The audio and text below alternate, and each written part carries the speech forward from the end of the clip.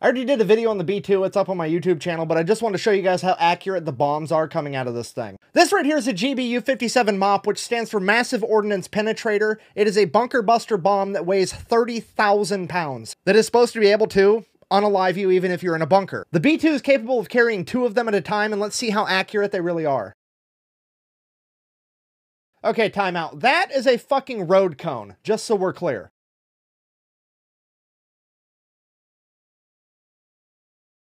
So there you have it. The B2 is capable of parking a 30,000 pound warhead on your forehead from a cruising height of 50,000 feet. Merch store and other links available at thefatelectrician.com. Quack bang out.